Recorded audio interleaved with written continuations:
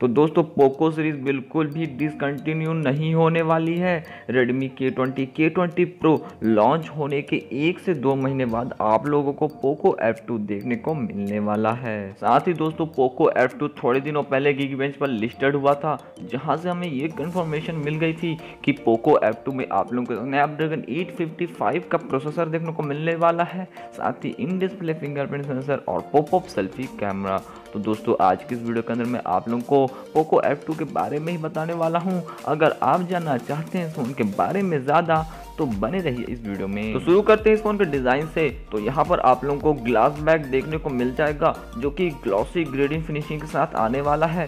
साथ ही आप लोगों को ट्रिपल रियर कैमरा का सेटअप देखने को मिलने वाला है। तो दोस्तों, अब बात कर लेते हैं इस फ़ोन के फ्रंट पैनल के बारे में। तो यहाँ पर आप लोगों को six point three nine inches की एक full H D plus super AMOLED display देखने को मिल जाएगा, जो कि फुल व्यू डिस्प्ले होने वाला है।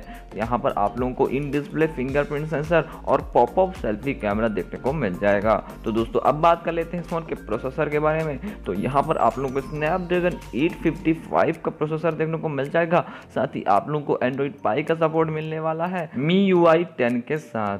साथ ही आप लोगों को सिक्स सिक्सटी और eight one twenty eight G B के दो मॉडल्स देखने को मिल जाएँगे। तो अब बात कर लेते हैं फ़ोन के रियर कैमरास के बारे में। तो यहाँ पर आप लोगों को ट्रिपल रियर कैमरास का सेटअप देखने को मिल जाएगा, जिसका मेन सेंसर है, वो है 48 मेगापिक्सल का, जिसमें आप लोगों को सोनी आई एम का सेंसर देखने को मिल जाएगा। साथ ही 16 मेगापिक्सल का अल्ट्रा वाइड एंगल लेंस और आप लोगों को 8 मेगापिक्सल का टेलीफोटो लेंस देखने को मिल जाएगा। तो दोस्तों, अब बात कर लेते हैं इस फ़ोन के फ्रंट कैमरा के बारे में। तो यहाँ पर आप लोगों को 32 मेगापिक्सल का पॉपअप सेल्फी कैमरा देखने को मिलने वाला है।